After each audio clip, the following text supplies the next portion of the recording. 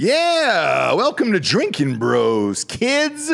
We got a fine Monday afternoon show today uh, with one of my Cheetos. Um, I can say Cheetos. I didn't. I didn't tell you this before you came on, Tucker.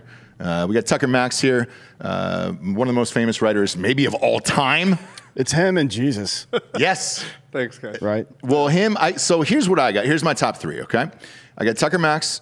I got Jesus, obviously, and then I got Anne Frank at three. Well, Jesus didn't actually write anything down, Right, right. He didn't actually. so far as we know. But it was translated, right? So he had a good. No, no, no. Jesus had a ghostwriter. Uh, he had He some- did. He, He did, yeah. he had twelve totally straight dudes that followed him around the desert, right? Well, I mean, which is what Kevin Spacey used to do in Hollywood. So Yeah. you know, just twelve. He had a gang of twelve that were all that was real I think that was actually the age limit. I don't know what the. we can't get sued for that because That he a good one. he Well got done. released or something. He's fine. Yeah, he's fine. No, everybody died. So all those people that were suing him for getting touched, they, they've all tragically. No. di- oh, swear Seriously? to God. Uh, That's Bob- not like Bob- a QAnon thing. No, That's no, no, no, Bob, look it up. So uh, three three cases have already been tossed, and Right. it's been strange people like around the world. Where Yeah. one guy died in Italy, I forget where the other one died, like uh, England, um, but all in like crazy mishaps. Yeah. Who so knew Kevin Spacey is a stone killer as well as a homosexual? I mean, look, it's in the what's- show. Well, he was definitely gay. I don't think anybody questioned that so much. No, no, no. The killer it wasn't, part, It wasn't though. the gay part. It was Yeah. the uh, well, the uh, the rape part also. Yeah. Well, the under, Yeah. Francis Underwood pushing that uh, that ginger lady in front of the train, right? Yep. That was that seemed in character for him. That seemed in character, Yeah. Yeah. and that's what's going on now. I feel like he could I, he could have remake uh, what's that fucking movie with uh, uh, the guy just goes into road rage.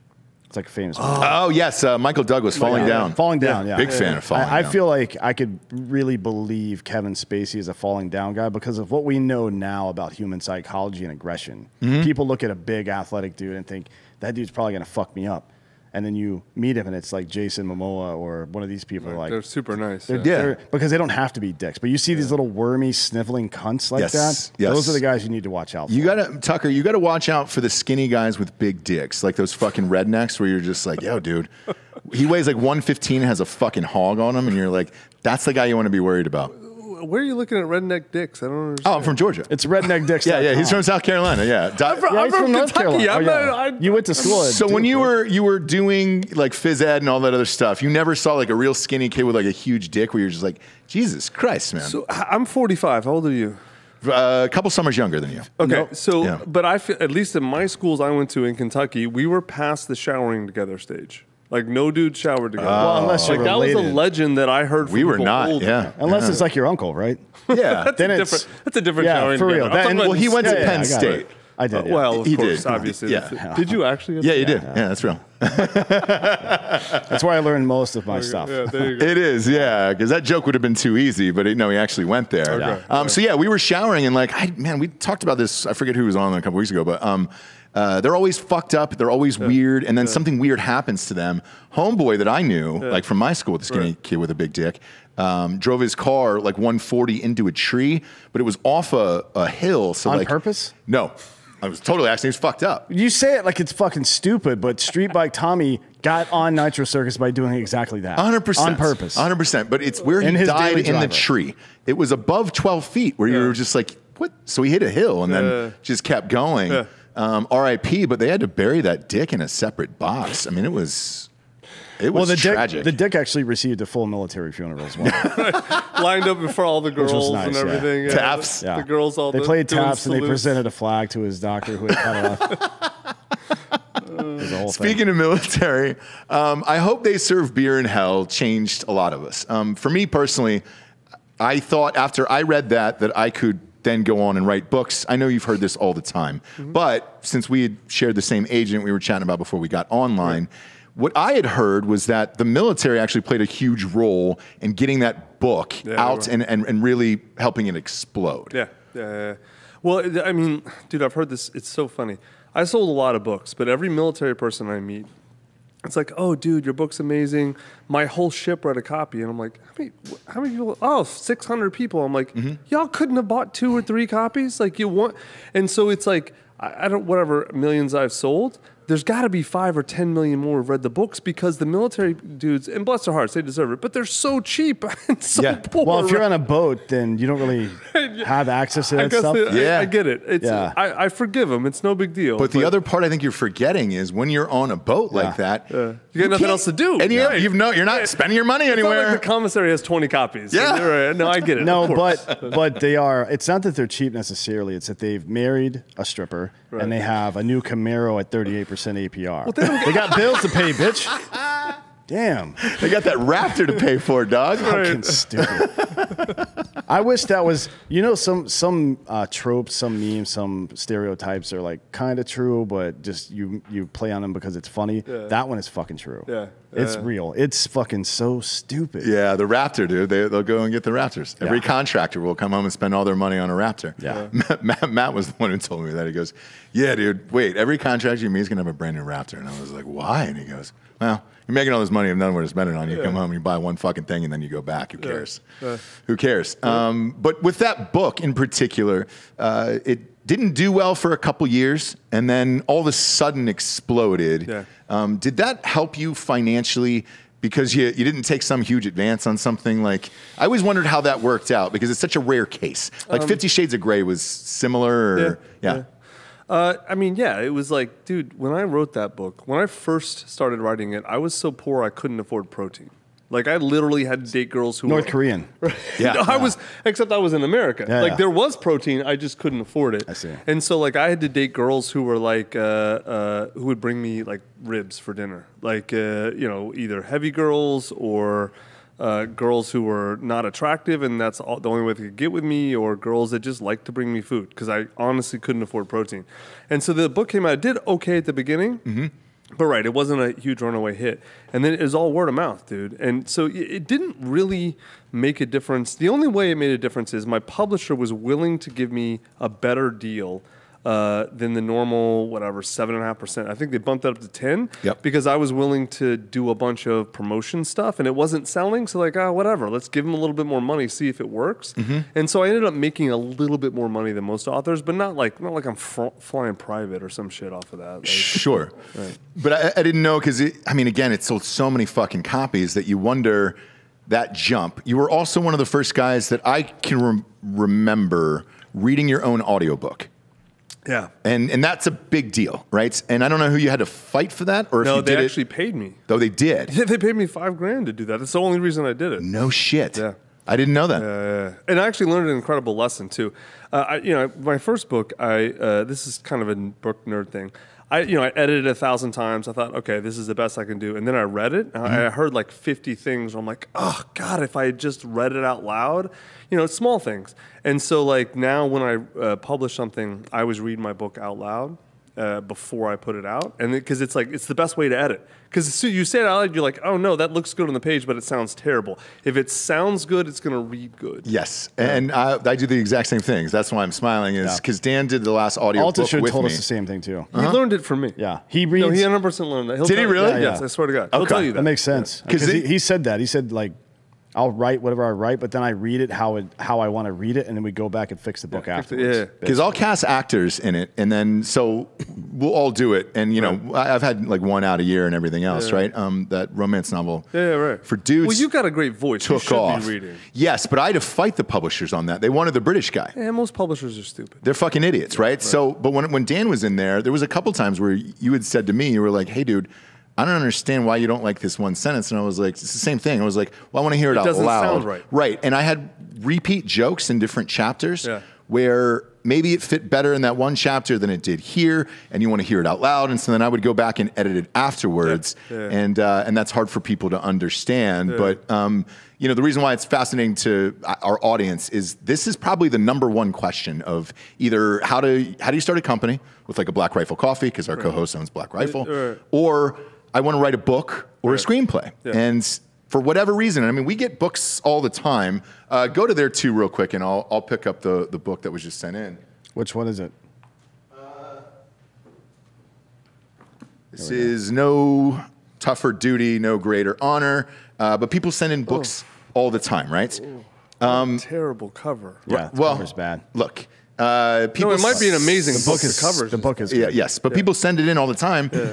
That's why. I mean, that's why. Like, dude, everybody has a dream of writing a book. I started a company to help people because it's the endless question I Yes. got. When people find out that you wrote a book, uh, two questions. First, they'll politely ask you what it's about, and they don't fucking listen. They don't care. The next question is what they care about. How, how did you do that? Mm-hmm. I want to do it. Exactly right. And so I just started a company and just started helping people, and now it's huge. And someone else Tell runs it. everybody about your company because I'm going to give you some shine here. Um, I've had two people actually use it.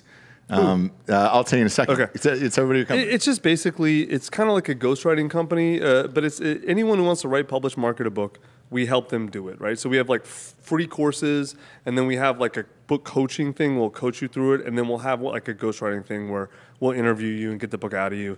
We publish it, we do the marketing. So like we've done David Goggins' book, which is Can't Hurt Me, which is huge.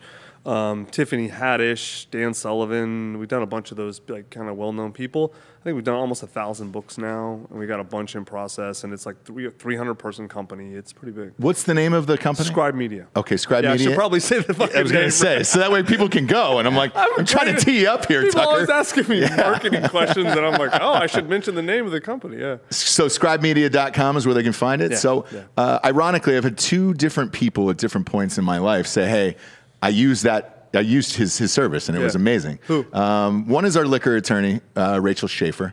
Oh, I know Rachel. Yes, In Nashville. Yes, She's we're, great. We're meeting with her this weekend. She's amazing. We have a hard seltzer coming out this fall, and she did all the deals for that. Um, She's phenomenal, and Great. she goes. She didn't know anything about what we did, by the way. She just knows liquor and everything, Yeah. and she goes.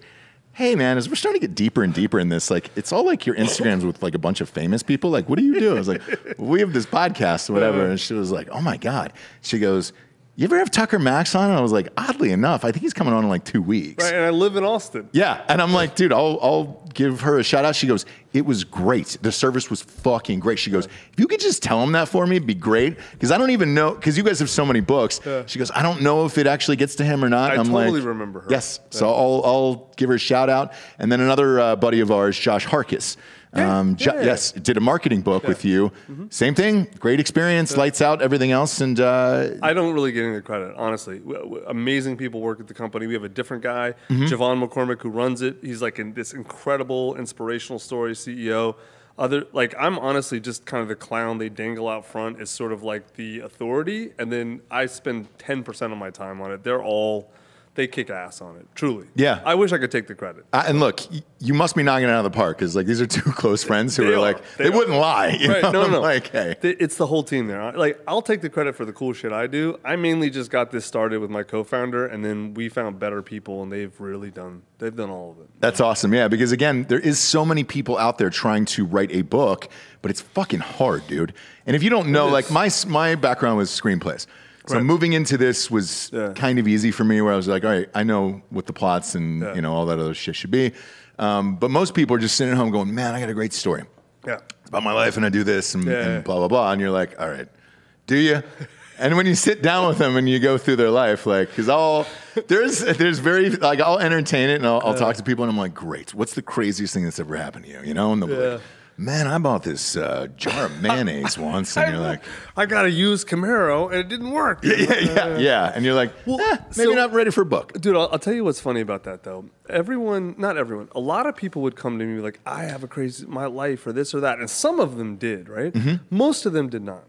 And so the the problem was that they were trying to be me, right? Yes. Or trying to be who they perceived me to be. Right. And then what I would start doing with most of these people is I just start asking them questions about their life, right? And so mm-hmm. some dude who's like, "Yeah, I got drunk once in Mexico," and like, "That's my book," right? His book, up like that was like mine, was a disaster. But then I start talking to him and ask questions, and it's like, oh, it turns out like his dad abandoned him, and his mom was a hooker, and like he has this insane, actual, incredible life. Yeah, not what you did, Right. but why you arrived there, and then what you did after is what people Correct, care yeah. about. Uh, almost everyone has an incredible story. It's Yeah. almost never the story they think it is. Right. It's the story. Where is the painful place in your life you don't want to go? that's the story, Yeah. right?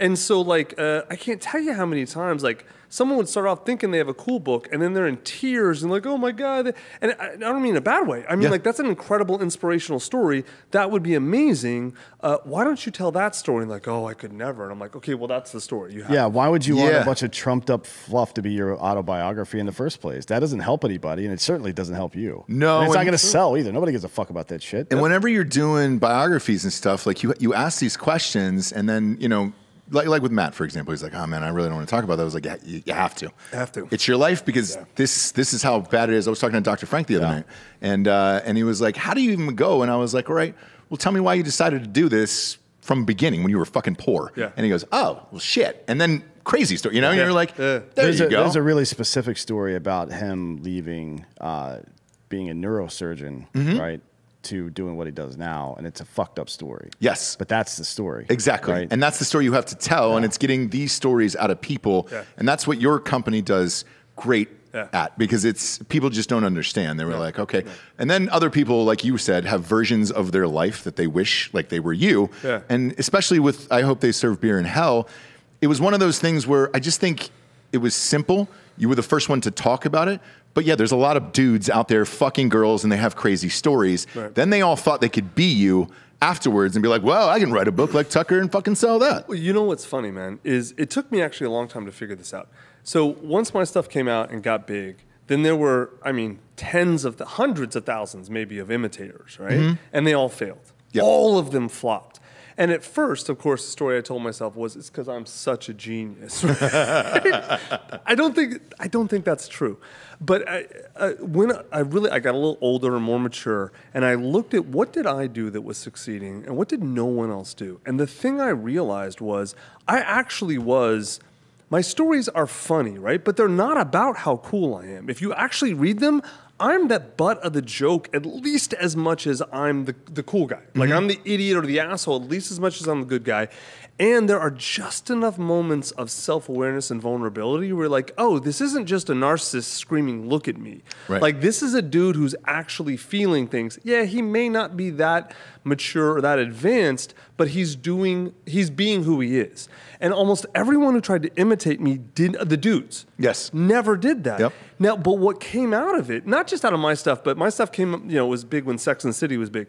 There were a bunch of women who started writing stories about drinking and hooking up, and a lot of them got successful. Like, Yeah, a lot of them, lot. actually, right?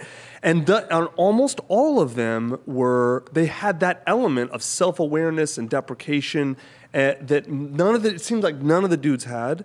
They actually had that, you know, or some of them, the ones that were good. you Yeah. know? Chelsea Handler's a pretty iconic example.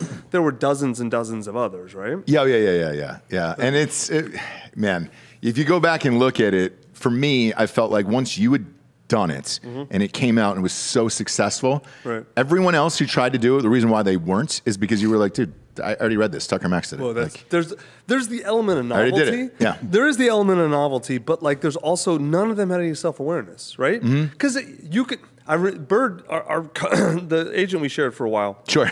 he used to say, dude, my inbox is full of 10,000 pitches of how, because you could be the, you know, the, whatever, the, the, the military Tucker Max. So Mm. you could be, you could be novelty. Like you could be a version of that, right? Mm-hmm. But none of them did it either. Right. Which tells me they were all missing, and the stuff you read, it's boring and awful. They were Oh, all yeah. missing the point. yeah. They Yeah. didn't get that it was like this is a dude sharing his actual real experiences. And then I worked hard to be funny and write it well, whatever, right? They none of them did that. Right. They, they were just, hey, this is look at me. I'm important. I want you to look at me without actually bringing the part that someone wants to look at, which is the vulnerability. You just described Dan Bilzerian, by the way. It's ju- I mean, that's like for real. There you go. Did you write his fucking book or something? Uh, no, I didn't. Stop it. Dan Bilzerian could not pay me enough money to write his book. He actually came to us. Oh, dude, he. I don't know if I'm supposed to tell the story or not. I don't care. Go ahead. We don't give a I'll- shit. I'll, no, I'll tell you the. fi- It's a true story. Wouldn't it be funny So- to see Tucker Max censoring himself on independent media after all these years? Like, oh, I can't say that, man. Oh, he's changed. no, um, uh, so Dan Bilzerian, Dan Bilzerian, I guess, is friends with uh, David Goggins or knows him. And so uh, Dan, uh, after David's book came out with us and did really, really well, Dan said, "Hey, connect me." He didn't uh, connect uh, me, uh, with me. He connected with the CEO, JeVon, because David and JeVon are like best friends. David tolerates me, but he really likes the CEO. And so uh, JeVon talked to, to Dan a bunch, and then basically realized what most people know is that he is a complete fucking dick, and not like a funny asshole, right? Right. Like he's an actual dick to inter- to interact with as a person. Like he's extremely unpleasant to interact with. And so JeVon's like, "Look, man, you." He offered us ten times what we charge for the service, and he's like, "No."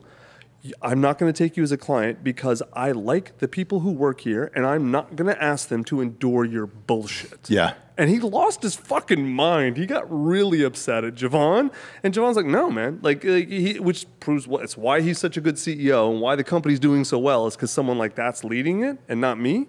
But um, yeah, dude, he's actually a dick in real life. The other portion like, it's not just an act. No, right? I'll piggyback off of it. I'll tell you the the rest of it. Because the other portion of this is he went to go sell his book, and he wanted this certain Huge number, advance. huge Yes, advance, yes. monster advance.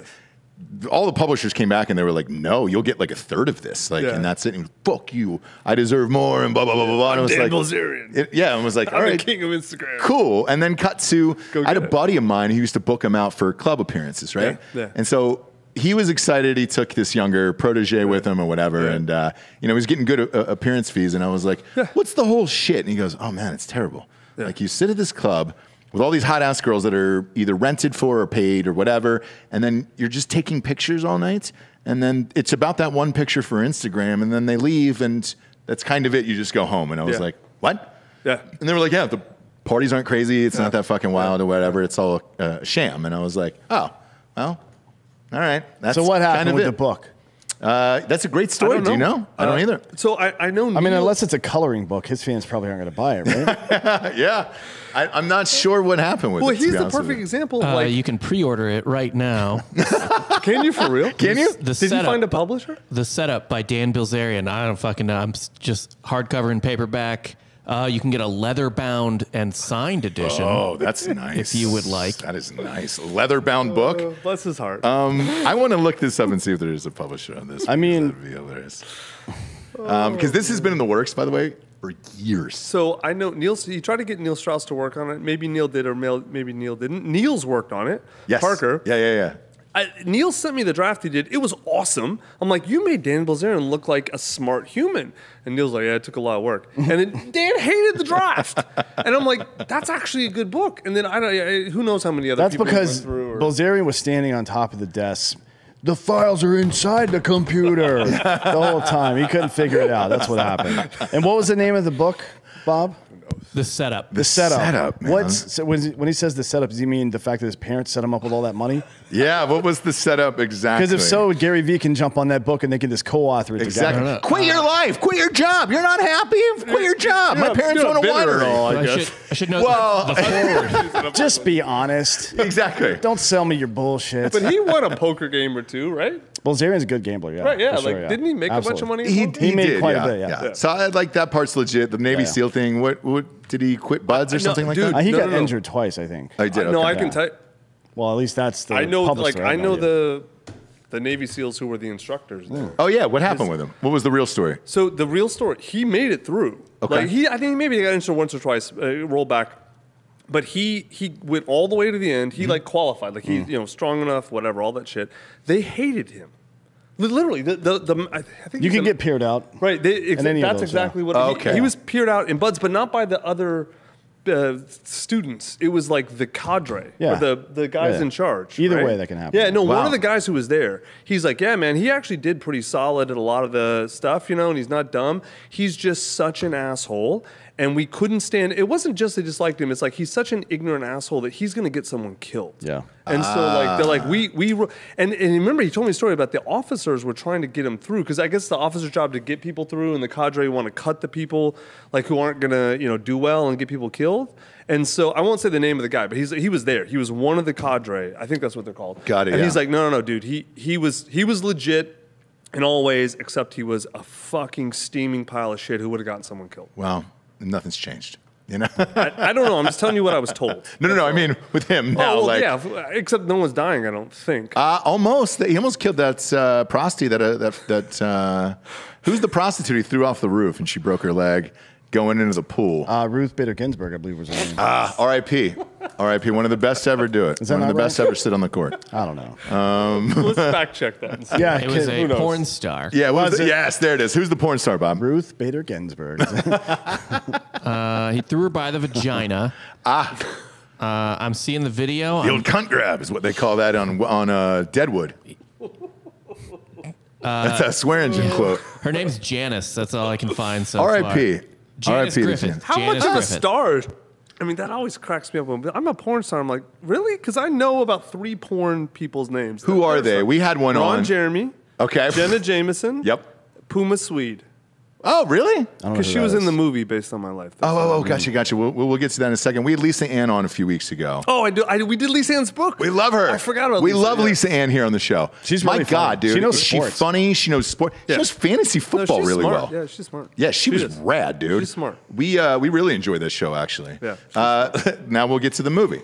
Right. So book blows up, becomes successful. This Yep. is what everybody else wants to do. Turn their book into a movie. I was there for this. Now this part I was there for. Um, I was in LA for this. Um, I had done three movies for the casting director you hired, Just, Joseph Middleton. Yeah. Yes. Yeah. He like- pushed me for this and he goes, Hey, dude, I just got this script. Like, Which role? You're the guy for you. It was Really? for you, yes. Um, it was a long time ago, though. Um, and, uh, and he goes, Got No. the right personality. He, he- yeah, but he goes, uh, no, he's looking for something else specific, and w- I forget what it was. And I, the, the guy who got it was the guy from uh, Gilmore Girls, I believe. Yeah, Matt Czuchry. Yes. Um, and uh, anyways, um, I was surprised that you did not just sell that to a studio and take all the fucking money. Yeah. Yeah, I did not do that. I could have. We had huge offers. Well, big Massive. You had figure- massive Yeah, offers. We, we did. We did. Truly. Yeah. Um, it was one of those things where. Oof. all right. Um, I hate talking about it because I, all I go back to is a time in my life when I was. I've been stupid a lot in my life. I think that was one of the height of stupidity moments, and not just stupidity, but also complete like everything I was just making fun about Dan Bilzerian about. I mm-hmm. was like that, my version of that, because I wasn't nowhere. But in, in that period, like it was the it was the I was completely unmoored and lost. And um, thinking back on that now, I'm just like, I didn't do anything right. Like I, my decisions were bad. My uh, the way I treated people was horrible. The way I treated myself, the way I oriented to the entire world was just totally fucked up in all ways. All like just it was it was a dark period in my life. It's funny to say a movie was made about my life before I turned 33 and it was a su- or 34 and it was a super dark period in my life, but it was and I made it that way. It's not like bad shit was happening to me. Right. I, it was it was just one of those things, man, where it's like, you know, some people just get too, a little too much success a little too early before they're really emotionally ready to handle it. Mm-hmm. And I think that was the case for me. And I didn't handle it well. And like, not selling it to a studio was a bad decision. But I, I'll tell you what, the thought project, uh, process in my head was actually a great thought process for someone with a lot of emotional maturity. So, uh, uh, no one in Hollywood owned their IP.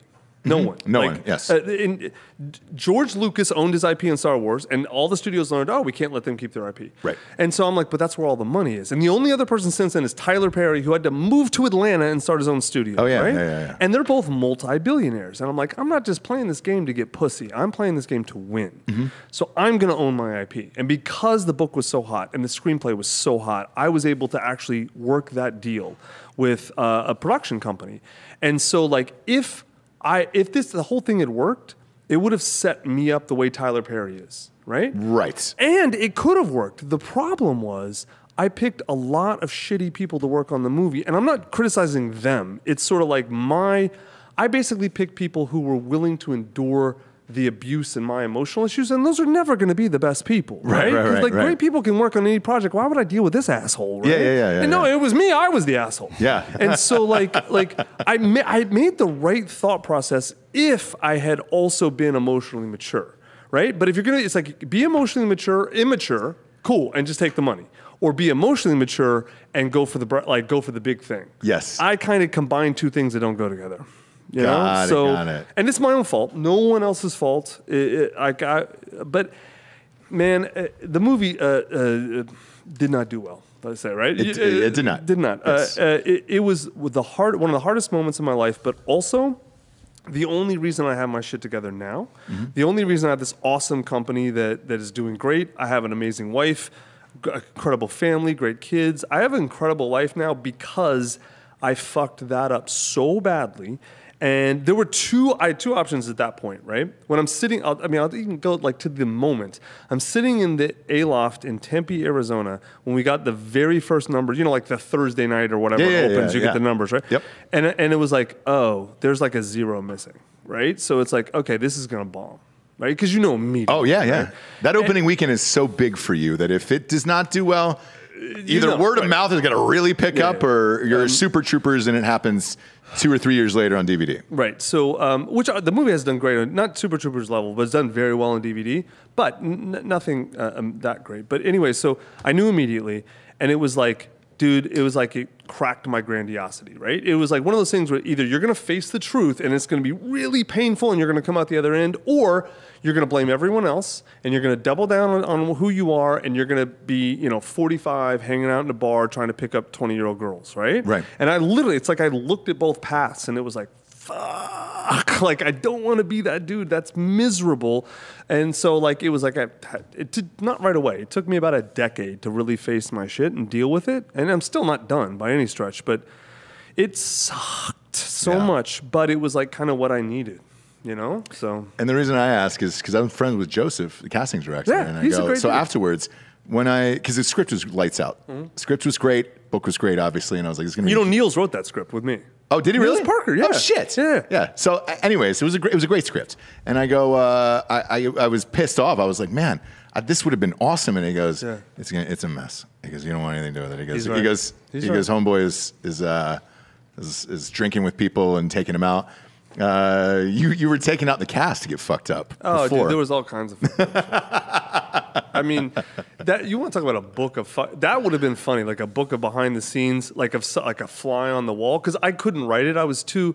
I had my head too far up my own ass. You know, like Yeah. I was drinking my own Kool Aid at that point. I had no self awareness. Whereas I, when I wrote Beer in Hell, I was poor.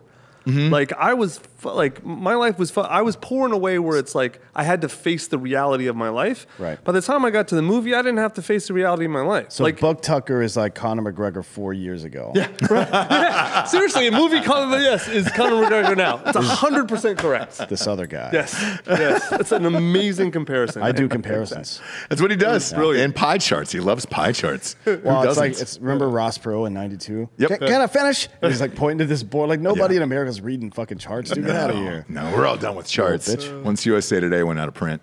Um, are they still around? Yes. Yes, they are. Yes. Good for them. Pie charts still. Colors. I like all that. I like all that. It's very simple Yeah, I enjoy colors. and less opinions. Um, I don't think you can say I'm good with that. Oh, can we? All colors matter. colors. Yeah, yeah, yeah, yeah, yeah, Excuse yeah, me. yeah. There was no ed on the end of that, so you don't have to all worry around. about it. Um, moving on from We're that. still under quota. Yeah, yeah, yeah, Okay, yeah, all right. yeah, yeah. We're we're well under Morgan Wallen cl- quota. He's going to be on the show next week, I think. So, um, uh, but uh, we'll ask him. Maybe we'll find out. With that, after all this disaster happens, Right. you switch up your writing, Yeah. um, and then you start putting out like a dad book um, No. and things like that. Dad book. Yeah. Didn't you put a, a relationship book out of like? No, it was about how to how to get girls, how to deal with women properly. Right. Properly. Yeah. Right. Like that- in an effective way. Instead of most of the dating books are terrible. It's dating, not dad. Okay, right. But with that, you were no longer the guy who was just fucking girls all the time. Like, Right. I was trying to help young guys. correct. Not- not Did you get any fuck a lot of- pushback for that? Eh, I mean, sort of. Not really. Like uh, that book didn't really. It did okay. It didn't do that well. It's the weirdest thing. I still I get more email now about that book than any other book I've ever written though. Like hate mail No, the other way around. or asking advice and shit. No, no, Yeah. it's like dude, the dudes who actually read it are like, "Holy shit, this is amazing! This changed my life." It's just like there's just not that many that read it. It's an if you're a young guy and you're totally lost about women, that's the book. Got it. Like you guys wouldn't need it. Like it's not for it's it's for young dudes who just have no who basically didn't have good dads or good male uh, role models or someone who could teach them exactly here's uh, what women want. Right? Yeah, yeah, Here's yeah, how yeah. to do it in a way that's whether if you want to sleep with a lot of women, cool. If you want to have a just one uh, partner, awesome. But th- there's basically a set of strategies that work and how to understand women, how to understand dating. Um, it's the book for that. And so I get tons of mail still. Um, but Nils would actually help me and uh, Dr. Miller write that. Oh no Jeffrey shit! Miller, yeah, yeah. Mhm. I, look, he's one of those like Nils. If you get a hold of him, it's Yeah, just like great. yeah, yeah, You you keep using him No, forever. the book did it didn't do that well, but it, it's it's had a huge impact on a small number of people. I, Mm-hmm. st- I still get so much email from that about that book relative to the number of copies it sold. Yeah. I get an overwhelming amount of feedback actually. Has there ever been a book that came through that you were just like, ah, shit, uh, or somebody else's life that you really wanted and and it just didn't work out for some reason? Oh, If I did it by O.J. Simpson. Yeah, dude. It's I mean, the one because everybody wants to murder. I feel we all do. We all want to murder Tucker. Like, I, I, you get, Yeah, yeah. OJ actually juice. Right signed too. it. Well, so we should explain it real quick. Here's the rules, kids. Um, this Oh, was nice. before he, Yeah. before the double murder. I think he was actually before the in- double murder. I think he was in Moab. This Well, my favorite part about that is he writes Hall of Fame on. Like people don't know O.J. Simpson's a Hall of Famer. Well, it's worth more. It's worth more. And then the, the belt behind us for Hulk Hogan, that was before he said the N word too. Mm-hmm. So like we want that we want to keep that clear for the audience. And just in case you were here and you were like, man, what the fuck? All these people are fucked up. And it's like, yeah, it was pre sex tape for him. So let's just understand that. Uh, he's a champion and he will be respected. that Brendan Fraser signed autograph uh, picture down there was before he was involved in 9/11 as well. It's true, yeah. Brendan Fraser did Before he 9/11. found the donut table, I think. Yeah, Boy. I know, dude. He's uh, he's swollen up. I don't know if it's Well, swole is not the right word. he's doing a movie about uh, like a 600 pound life. okay, has he been doing it for the last 25 years? Because he's been fat as fuck for a while That's now. the So you have an opinion about this? That's the question. I have an we opinion don't. about everything. we don't know when he came out and said that he got his taint rubbed by a gay man at a party. That's that was when I checked out of Brendan Fraser. Like I was all done What- with what- B. Fraser. Why? What's up? Why would Yeah, you? how did why did you come check up? out And why after did you that? check- Y- well, so during the because Me he Too- wasn't he wasn't man enough to admit full penny or what? Yeah. Well, here's so two, two things. 'Cause Right? Somebody was in there. Two- that's what you I don't, You don't stop at the fucking taint. hundred percent. Nobody does that. It's like grabbing a bowling ball, and you're Yeah. trying to find where that middle finger goes. Yeah. And uh, with with B. Frage, it was during the the Me Too movement, and as it was going on, do you remember there was like a few dudes who came out like Terry Crews, was just like I got my dick grabbed at a party, and it was like, oh great, by a gay agent. It was like. Terry Cre- and he sued. I think he sued William Morris, right? Uh. um, and it was like, "You're Terry Crews. Why didn't you just tear the guy's arms off?" yeah, right. fucking beat it?" Exactly. well, then it's a hate crime, though, right? I, but he got his dick grabbed but first. he's- if a gay dude grabs your dick, No, but he's in twenty black. in twenty twenty, that's true. He's black. yeah. He's black, so he Maybe. he was fine to Yeah. to either rip this guy's arm out of the socket or whatever. I didn't get that. And then there was a couple more dudes, and then Brendan Fraser's just doing this interview for this movie, and he was just like, "Yeah, you know, uh, what do you think about Me Too?" And he was like, ah, "We've all gone through our awkward moments, and one of them was traumatizing to me was a gay man stuck his hand on the back of my pants." And like grabbed like uh, from underneath Took too. just a handful of butt and Well, no, no, no, no. Taint and like a maybe clipped a ball from like behind, and then he was talking Yeah. about this story, and it was just like, all right, cool, but like, right. you What do still you gotta gotta be say over there? Proud In of that. court, that's called a, a perineum. Oh yeah, yeah, yeah, yeah. You say yeah. perineum in court. yeah. Yeah, we're not in court. We're on not- drinking, bro. So Yeah. it's taint, No, and then- motherfucker. Taint, motherfucker. The, the, and then Scrum. Of, of course, it comes around. It's Kevin Spacey. Right? Yeah, well, Bring it full circle. That's what I was hoping for, right? Right. And it just turned out it was like some random agent or whatever, and I was like, dude, enjoy, like enjoy that. Yeah. It was like I remember. free. Yeah, it was a kid. for As a kid, there was like the church that I went to. It's one of the, the first priests like busted in the Yeah. uh, in the thing, and I was like, I didn't get touched. And I was like, was I not good good looking enough? Because you always you wonder that, You have to take a number up there where you wash your hands on the way in. 100%. That's the problem. And I think the real lesson here is don't smell Kevin Spacey's hands. ever, Yeah, Like ever. Because But I was at a big, big, Yeah. big dinner one time, and uh, I'm sitting across from this unbelievably powerful producer, right? Right. And he was with one of the hottest girls I've ever seen, and uh, and she's looking at me, I'm looking at her, and I'm like, Right. oh man, this is fucking rad. And I, and I feel this hand on my cock, right, underneath the, the dinner table, and there's eight of us. It's him. and we're at. It's Uh, all veiny and old. yeah, well, here's the thing. I don't know because I can't see it, right? And it's underneath the. Grab it and no, see. I, I, I was gonna let it play out because I was fine with everything that was going You on. You wanted the role in his movie too. No, not that. like her. Not that. Yeah. But me and her swapping eye contact, you know, stealing glances, all that other stuff. And then uh, homegirl in the in the middle of this of like, hey, hey. hey. Uh. She was like, I was like, oh yeah, yeah, yeah. So I like motioning to me to the bathroom. She gets up, walks, and there's still a hand on my dick. And that's when I was like, go. oh no, oh boy, ah. And my my, my agent was sitting next to me, and he goes, no, no, no, just kind of slide it off, slide it off. You don't want to offend him. You don't want to offend him. And I was like, I'm not offended. Um, He went. He shot his shot, dude. Like he's gay. Like that's that's what gay dudes do. Like I'm down. But at least I knew I was loved and I was Let me special. a- let me ask you this: You look over at the woman, and she's trying to get your attention, and you find out she's got her hands on his cock. Do you have to then go to your left and grab the next cock in Yeah, line? like- like what's the what is the, what is the etiquette? I do it. at a party when everybody's getting their dick touched. I'm not really sure. I mean, I guess it's, man, I, some of these free for alls you never know. I mean, you, did you ever get in a stitch like that where you walked into a room and it was, No. oh, dude, we had so, there's only been, in the history of Drinkin' Bros, we've done, I think, 1,100 episodes ish, Right. somewhere in there. There's two we couldn't air.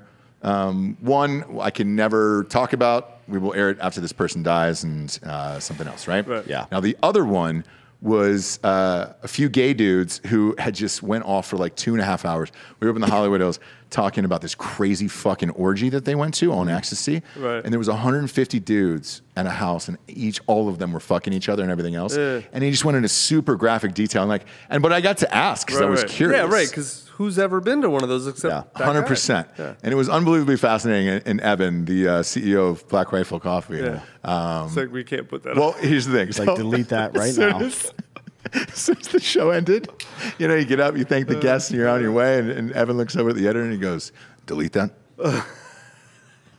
Delete that right now." And I'm like, I'm like, yo, what, what? And he goes, nope, not kidding. Delete the fucking, delete that episode right now. And I don't even want a, a chance that that'll get out um, because there was like six of us asking like hardcore graphic gay. I know it was just he goes, no, no, no, no, we're gonna head and, and uh, cut that off now. Um, and to, to, I bet that was pretty interesting. it was listen to, amazing. and the guy had a great name. His name was David July. Um, so David July, if you're out there and you're watching, know this. I want you back on, and Dan and I will will go full gay with you and un, like try to get into that world um, because it's Oh, that's awesome. fascinating. Yeah. But is there one guy that you were like, all right, man, that would have been an amazing life and an amazing story, and I wish I wish I could have worked on that or or worked with that guy in some capacity. It's funny you mentioned there's one I can't because I actually signed. I signed on to do uh, a book with, at the time, unquestionably now probably still, but like basically the biggest movie star in the world to be like the co-writer, and then um, he ended up deciding not to do the book, and like I talked to like he has an insane story and no one knows the story, and Yeah. like I, I signed an NDA and I'm like it's not even like I'm just whatever I one of those weird people who keep my word promise him so uh, but that's that's the one where it's like man if this dude ever decides to tell us I get why he doesn't because it's very It's Tom Cruise, and he his- tells the story of being an alien. No. he's from outer space. I fucking knew it. That's why he's aging in reverse right now. Yep. It's the fucking uh, the radiation from our sun is slowly turning him into Superman. Yeah, yeah, yeah, yeah, yeah. yeah. That's for all you physics majors. no, the, no That's all it is. Scientologist I think would hire me to write a No. book. You never know. You know they hide in plain sight. Yeah I Yeah. don't, I don't think they hire anybody outside of Scientology That's when it comes to their PR. It's true. though. Well, they're already giving up 18% of their life salary anyway, so it's like, hey, dude. Yeah, I mean, That's true. Jesus is a better deal at this point. Oh, yeah. It's ten percent, guy. I mean, look, if you somebody could take my property taxes down eight percent, I'd the fucking Mormons say are right five Just- Yeah. Oh, yeah. It's only I know. five. Shit, I'm gonna get my own planet too at the end. Yeah. Fuck out of here. Yeah, I've got the reason I ask is I have one too. There's just one sitting there where, where I'm like, all right, if this guy calls me at any point to do this, and, I, and I've chatted with him multiple times about it.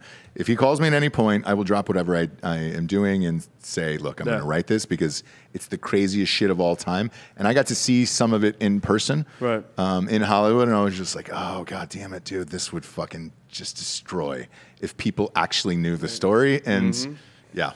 Uh, we're all sitting on one when you're like, all right, cool. Yep. Cool. the Um, guy paid me not for the like a third of the fee up front. Sure. And so I told him, listen, you ever want to do the book, go ahead. Like, just call me. Like, you've already paid the first third, Sure, yeah, yeah, yeah. so we'll just I'm in. ever And call? then- Did he ever call you back? No. He could go full Audie Murphy, write his own autobiography, and then star in it as himself in his own movie. He could. Oh, yeah, yeah, He yeah. could. He could all day long. That's a crazy story. The other one that was around uh, when I was getting going was um, uh, for the first one for Night She Cries While You Rise to See was uh, Ronda Rousey's, um, and they'd put her book out like the week before mine, which is awesome because that means all of the advertising went to Ronda, but uh, and they paid a fuck ton of money for it. That one they were supposed to make into the to a movie. Yeah. and uh, and I don't know what happened with I that. I don't think anyone well. cares about her anymore. She's not fighting. It's strange, right? Well, she went. Didn't she like quit to be an actress and then it just didn't work or something? Yeah, right? she was in WWE for a while, and now Right. she does a reality show on. Whereas Gina Carano actually like got jobs and was doing before. Oh, yeah. You know, she Yeah. didn't toe the the woke line, but like I think yeah, Ronda never went anywhere, right? I, I don't remember her being anything. WWE and She then was some she was in a Fast and the Furious. Oh, okay. Yeah. like as a how, how much time on camera? we're talking uh, about? she got in a pretty good fight with uh, the Latina chick. I forget her name. Michelle Rodriguez. Is it? Yeah, La- yeah, I think it's Latinx. I think you're saying that wrong. It's Latinx, it right? No one said that out loud ever. Oh no, no, no, no, never, Never. never. Yeah, No one. No one has said Latinx at all. I'm gonna say it here tonight, but um, obviously, because that's to all of our Latinxers and our Latinx listeners. Uh, our, all- our head of sales, by the way, is, is Latino, and she's like, no one fucking uses this No, goddamn phrase, and we hate it. Latino. We hate it. Yes. Yeah. because female. Ah, whatever, man. I, I'll I mean, call, if you're gonna I'll gonna call her if abuela. you're, if you're gonna if you're gonna reject the Latinx thing, then you have to at least choose one of the two binary fucking. But we words. never got to is it Latinx or is it just Latinx? It doesn't matter. You're rejecting the I premise. thought it was outright. Latinx. It could be. No, I don't either. Uh, because only the wokest idiots on earth would ever Yeah. even. Oh, pretend to use dude, that, hundred but, percent. yeah. Speaking of which, um, do you keep up with Hollywood or any of that shit? Like the Emmys was on last try night. Try not to. Yeah, it's weird, right? Right. I don't even know who won. Yeah, no, I have no idea. So last night it was because right after you left my house, um, Mm. uh, it just said, "Hey, next up is the Emmys," and I looked at my Yeah, it's a wife. football game, you're right. Yes, and I, I looked at my wife and I go, "Wait, what? The What? fuck?" I haven't heard one word about the Emmys. Because we, no one in, was we watching. live in Texas. No one cares. It's bullshit. No one cares. cares. One, two. It was in a uh, a tent last night. Yeah. So I mean, there was like 15 tables. It looked like something they had just like raced together. Of like, oh hey guys, at Holiday Inn, like we've got a fucking conference coming in, dude, and you guys got rocks. Like we've got to we've got to make up the the dinner banquet Right. hall immediately. Um, it The felt pipes broke in the conference room, so we got to throw a tent up. hundred percent, and that's what it looks like. brilliant. So everybody who was watching was just like, "Wait a minute, man! We went from like the super richness of of everything to like we're in a tent with about eight to ten tables." Yeah, but still, and- the slaves are wearing masks. Though, Yeah, you notice right. that? That was my favorite Like, Yeah. and I say that word slaves because that's what it's starting to look like now. is. It's like rich people or politicians surrounded by masked people. Yes. Like, I don't Yeah. want these dirty people getting me dirty, man. Yeah, it is. The fuck out of here. You're right. It's so funny you said that. So like, Bunch of cunts. I watched it for like 20 minutes last night. Seth Rogen got up on stage and he goes, "Hey, I know we were supposed to like this is supposed to be an outdoor event because of COVID or whatever, Yeah. but he goes, this is we're closed in. There's a roof here, and this does not feel safe." He goes. I had Paul Bettany sneeze on me earlier, and I was washing my fruit inside a store like three hours ago, and it was uh. like, yes, nobody was wearing masks, uh. nobody was doing No, shit, people were hugging, people. kissing, In and California, the rules are for the little people. it's for the fucking poor. Mm-hmm. That's all it is. Like, um, no, not financially poor. For the little people, it's different. oh yeah, yeah, yeah, yeah. you can have a bunch of money. Yeah, No, no, yeah. not those little people. That's Okay, a whole gotcha, different. gotcha, right. Only midgets have to wear masks. Wouldn't- It's a, it's a big club, and you ain't in Super it. spreaders, Max. Super spreaders. all right, and I'm going last name now. Okay, Yeah, so you know yeah. I'm serious. But no messing around with the midgets. Super spreaders, yeah, but less and less people are starting to care about that shit now. Um, and the week before was the MTV uh, Music Awards. Yeah. It drew under a million ratings, and it was on six different networks at the same time. And you were just like, "Oh, this is over. We're all Right. done with award Yeah. shows and Yeah. all that other I stuff." mean, network television in general is kind of fucked up now. But imagine being one of these people. Imagine being Hoffa with the Golden Globes or the or the the Academy or or the Emmys, and thinking that people care Mm-hmm. about any of this shit anymore. Like you are so fucking tone deaf right now. Well, they Jesus don't have Christ. it. They, they don't think a universe exists outside of theirs. That's why That's they're, they're not even like. What do you mean people don't care? Everything revolves around it. They're you like- spend plenty of time in Hollywood. You know Yeah, yeah, this. yeah, yeah. They're like- don't think a reality exists outside Nope. of No, them. they're like every other aristocracy that's ever existed in, in Exactly right. humanity. I That's mean, true. they they think they're fucking untouchable and above everyone until fucking some one of the one of the little people decides they've had enough, right? And then that's how all your country falls apart. And the little people, again, we're, we're still referencing midgets on this because they've got a lot of power. Yeah. A lot Well, especially of in the power. legs. Yeah. Yeah, yeah, yeah. Because dwarfs have normal cocks. Um, Okay. I did. I, I worked with him. He was he, he went over the whole story and then he pulled it out Yeah. on, on set, and I was like, oh my god, Well, yeah, because the torso and right. he's got a fucking hammer on him. Not like the guy from Sex Life on Netflix or anything, but like you know, like have you seen that one? Has your wife made you watch it? No. Oh yeah, my wife told me about it, and uh, now you can't. We have to tell him now. what? Uh, so Sex Life, episode three. You don't have to watch the show; it sucks. Okay. Um, episode three. Yeah. 19 minutes and 50 seconds in. Okay, just just keep that time code in your mind and enjoy it. And you Okay. you text me and be like, "Oh my god," Yeah. let me know. even my mom was watching the show one night and she was just like, "Hey, dude, you kept talking about it, so I watched it." She sent me back an emoji of a baguette, like a French baguette, on my thing, and she was like, "You were right. That guy's got a fucking hammer on him." Same with dwarves. I'm dead serious, man. These fuck they.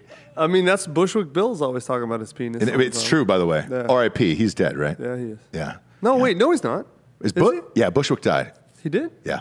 Yeah, he died. We're gonna need to fact check that. Bob Bushwick Bill. was it like in the He last died year? uh, June 9th, 2019, in Denver, Colorado. Boom. At the height of three feet eight inches. yeah. Well, that Oh, was pre-COVID, so I don't really have an. Yeah, I thought you were going to say fucking at the height of COVID, but Yeah. Would Yeah, you that- say would you say height or would you say kind of like the low of, of Pinnacle. 3'8"?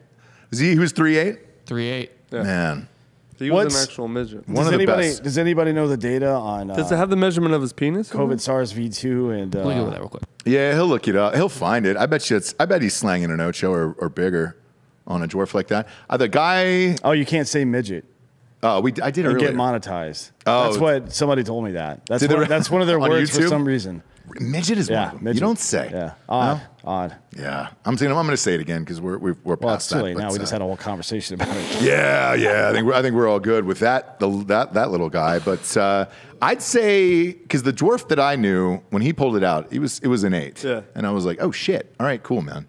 Um, and his whole thing, the whole movie was just to get laid, and then it happened. Yeah. Finally, somebody was just like, all right, I'll fucking sleep with the dwarf, dude. I can't find his penis size, but I did come across something in the Gothamist. Apparently, there's a thing in Brooklyn every year called Okay. Brooklyn's Smallest Penis Contest. yeah. So When is that? When does that start? I want to go up there. How do and how do I get to I don't know, judge it? but I feel like we're famous enough. the enough. SEO for Bushwick brought me that. Did it really?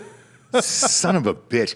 I we've got to get Ari in, and get, I got to get in on this. I'll judge. I'll judge a man's cock easily, and just be like, and enjoy it. Like I'm not going to wince, look away, anything. I will. Uh-huh. I will put my time into it and be like, that sir is a beautiful cock. Congratulations to you and your family. Or I'll tell them what's fucked up with it. Someone's got to do it. I guess. Yeah, because I used to do some amateur circumcisions, like at home. Um, if you're thinking about having another kid, you need No, you need me. my kids are not circumcised. They're not going. They're to. uncirced. Of course. No way. What was Why the reasoning? would I mutilate their genitals? I love them. Why would I do that? Do you? Are you uncirced? No, I'm circumcised. Okay. Double, double circ. Yeah. Did you double up? Did you recirc later in life, where you were just like, hey, that dude. light skin at the top for him, it goes all the way down. Yep, that pink skin. Yeah. It's all pink skin. No, dude, I mean, you guys know the story about circumcisions, right? Like why they became a thing outside of obviously the Jewish community. I Yeah. thought it was a health reason. No, that's made up bullshit. Yeah. Really? Like, yeah, you know, like the Ke- the heir to Kellogg's. Uh, uh, the, I think Oh, it was Tony Kellogg's or General Mills. One of the, the heirs to one of the big cereal fortunes. I know it sounds crazy, right? But true. Yeah. Uh, he basically got up like like a crazy rich person got obsessed with. I think he probably had a lot of sexual issues, a lot of repressed stuff, and was like, you know, men need to start masturbating less. And so like Oh, his so he founded the Proud Boys then. So no, he. I'm telling you, there's like a lot of go. There's. I think there's a bunch of YouTube videos about this now. This all is like I, Really? all Yeah, I can think about right now is William Shatner yelling, and instead of Khan, it's foreskin. And he's just mad at foreskin. He's standing over a fucking bur- a pile of burning foreskin every night, stoking it. I'll get him. Uh, yeah. I'll fucking get him. They're, they're, Yeah. it's it's one of those weird things where it's like, why do we do this? It's not health reasons. Like the Jewish do it as a way. My understanding is it like uh basically as a way of designating someone's part of the tribe, like that thousands of years old. Okay. Uh, though I'm not uh, a you know t- Talmudic or rabbinical scholar, uh, but America, I know for, for why it's done. It's hundred percent the obsession of a crazy rich person to stop people masturbating, men masturbating. No shit. Yeah. Um, No, well, it's a tr- you can look at a true I'm- story. I I'm can't- you can't make that crazy shit. up. obviously, but I'm circed, and I, I never, you know, that didn't stop anything. How do you know? Yeah, Obviously. It, you was, might have masturbated a lot more. Oh boy, it'd be it, it- next. It, was to control, and I'm using the the term I've found in the article here: masturbatory insanity. ah, You don't say. We've all been there. Yeah. Yeah. The, the foreskin or prepus uh, controls that. Prepus? Was that what Prepuce. it? Prepuce? Yeah. Okay, prepuce. There we go. Either way. Yeah, prepus is pre-puss. It's the part right before. right before pussy. you put yeah, right, right before you put. I it mean, in the, pussy. dude lived until he was 91, so he, maybe he had. Maybe he was something onto going something, dude. Yeah, he had a fucking pretty sweet mustache too. Uh, did he really? Is that Yeah. the dude? Yeah, Can we find? Can you put a picture of him on screen, Bob? it's John Harvey Kellogg with two G's. John Harvey Like Kel- Kellogg. I told you, it was one of the cereal. Yeah, yeah, yeah, yeah, yeah. Yeah, Sean. Only serial killers have three names though. John Harvey. That's. He sounds like he's Well, there's killed. probably a bunch of John Kellogg's assholes, so Uh. they're using it to separate him from the rest. Harvey though. Separate but equal. Yeah, obviously, he was a seventh. because we day believe in that. Dan Dan was has been staunchly against you know for the civil rights for a long time. He was did it before it was trendy. Yeah. There he is. This guy Put takes him up on screen. What is that, Colonel fucking Sanders over here? I mean, he's but got still, a bozo ring. That's him way later in life. This picture's earlier. Yeah. Uh, but he's uh, yeah, nice mustache. Look at his left hand there. Is he wearing a glove of some sort? Can you pan in on that? No, or is that that's- just his those are- hands? those are liver spots, my man. Are they? Yeah. That looks like diabetes. No, well, it might uh, be you Go down to the left hand. There it is. Oh, it my it God. could be diabetes, but that's a liver spot. Look And- at that meat hook. Ooh. Oh, get in the, on the Yeah, pen there it too. is.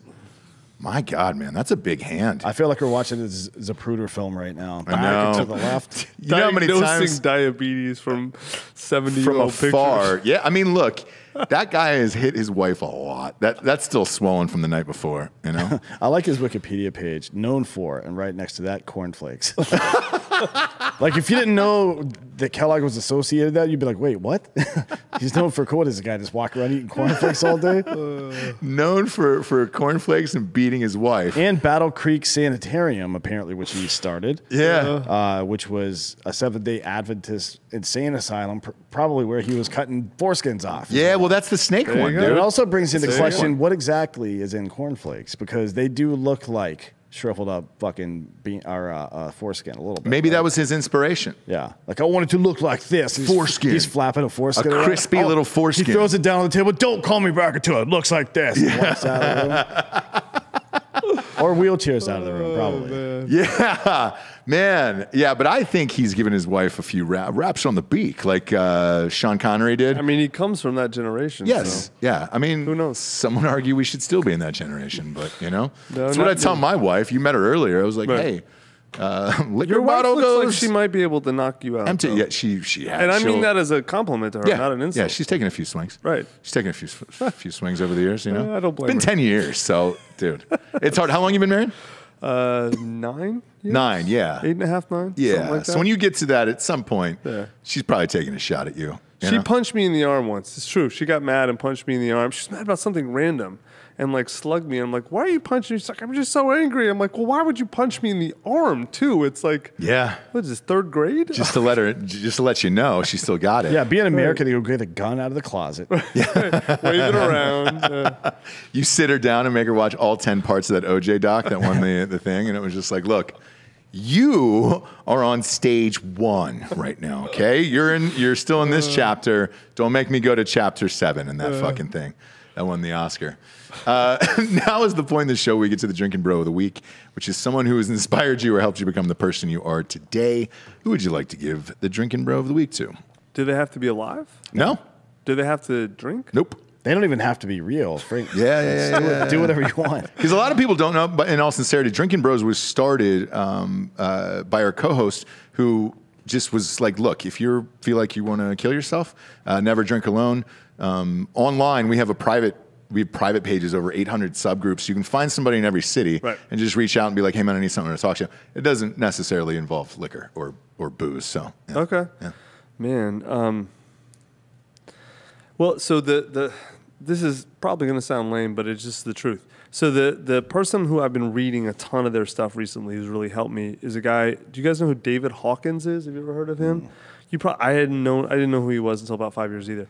He's like um, I don't know. He's like a psychiatrist who died like 20 years ago or something or 10 years ago and wrote all these books on um, like just emotions and therapy and stuff like that. Mm-hmm. And it was just like uh, most of the people who write about that shit do a horrible job explaining what the hell they mean. Right. David Hawkins is, uh, has did a good job, at least for me. His book Letting Go, especially, is like kind of famous. Oh yeah, yeah, yeah. You know yeah? I've, Yeah, I've right. heard of the book. I just haven't read it. Right. Yeah. It's one of those books too. I heard about it, and then finally I read it. I'm like, oh, this is amazing. Now I know why people recommend it. It's incredible.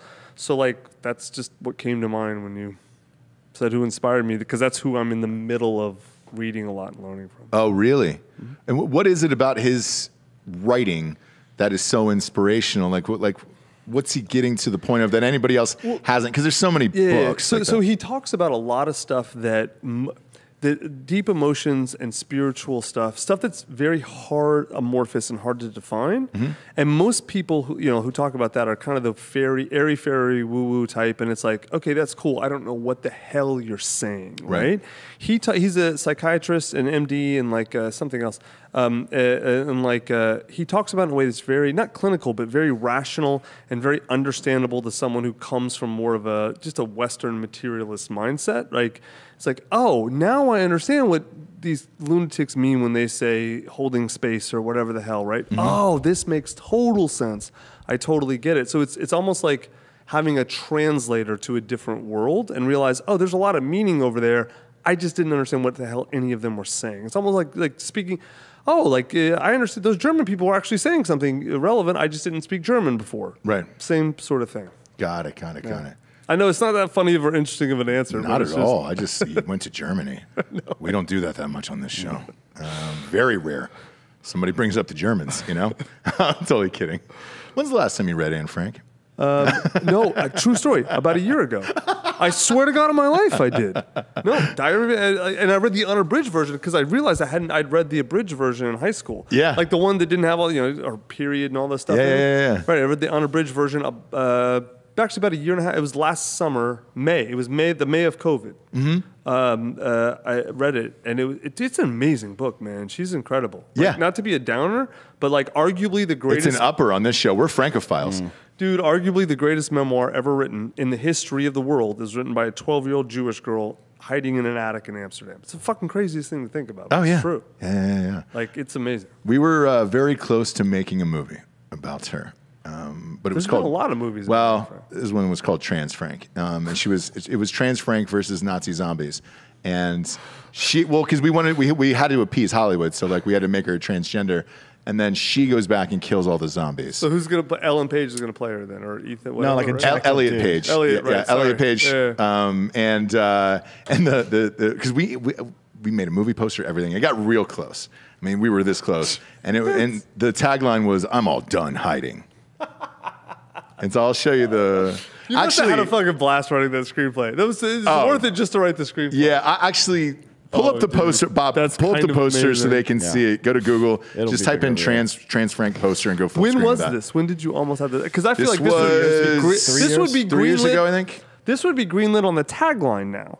Well, No? I, I doubt it now. Hollywood is not making any comedies anymore. So Well, that's also true. uh, just type in trans Frank uh, movie poster into Google and it Or should pop just up. Just trans Frank, and you'll see it. yeah. versus Nazis. What's that?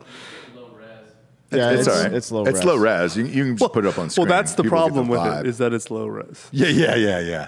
There it is, right there. There it is. Look at that. That's so good. That was uh, Donny done. O'Malley who was going to play uh, Trans Frank, and uh, yeah, I'm, I'm done hid- hiding. That was the tagline. I'm telling you, man. You attach Ethan Page to this, it's made. I'm telling you, greenlit, triple Elliot. greenlit. Respect Elliot Page. Did Yeah. I say? What did I say? Have you seen Elliot Page's abs? No, I don't know anything. Is Why today pay is today the day you need to see that? I want you to walk away with a happy memory today. Okay. Can we please stop? well, just one picture, Elliot Page's abs. Oh shit! I don't think Dan's seen this actually. I don't- We did this on RPR. Need to see this. Uh, you actually do, dude. Boom. God. Those are nice abs. What I do don't know want me to shit. I, I want the abs, dude. I just don't care. I mean, can I like I, you got the skinny joke? I mean, she's like, I mean, come on, as skinny as uh, uh, he is. perfect Yeah, Anne but look Frank. at those abs. Those abs are thick, dude. Those are chunky abs, man. well, it's the HGH, right? Is it? Yeah. I don't know. I, I want some then. This is fucking bullshit, man. Instead, we're giving it to Juno. So this is your Um, problem. You're it's kinda upset fucked up. that he has abs and you don't. I want to party with him. Yeah, I'll do some coke off those abs. That's fine. They're raised high enough where you can just do the lining of the abs. Exactly. Snort your way down to Perfect. the pleasure palace. Yes, man. Hell goddamn yeah. right, dude. I could do. You could put a, I tell a you what whole eight ball down there, I tell you all the way down to the ding dong. Well, there's no ding dong. and and Elliot, by the way, if they haven't attached it, you know, and it's You can make fake ones of those. well, but if you if you also need No, me and it, you know, like the ball has the inflate. No, because I talked to a nurse one Noodle time. Yes. literally, who like uh, I dated her or whatever. Uh, dated. uh, she that was like uh, she worked at a clinic where that's what they did, like Yeah. the sex reassignment surgeries. She told me the whole. It's crazy. It's, amazing. crazy. It's actually in- like kind of super. Like you said, the the whole gay discussion. Yeah. I never knew how interesting that whole world could be. Like it's like the Reebok, the old Reebok pump shoes. She's Yeah. like, no, you have an inflatable. I'm like, no. yeah, yeah, yeah, yeah. Uh, it, it was very. so you could keep them deflated on the on the reg, and then whenever you're going out Yes, to, you- the, to it- the beach, for yeah. example. D Brown, dude. Yeah. It's just like you're walking around, people are like, "Hey, is something wrong?" Like, no, Dude, she No. told me I'm this set. story that one of them it was, it was a woman who you know, got sex reassignment surgery to him. This is like 12 years ago, 15 years ago, to a man. And, uh, you know, full penis and then the inflatable sack and the balls. And she got a tattoo of a, an anchor on her penis. And Mm-hmm. so the, my, the nurse, I was saying, asked her, like, why? Why did you do that? She goes, oh, so I can drop anchor on my girlriend.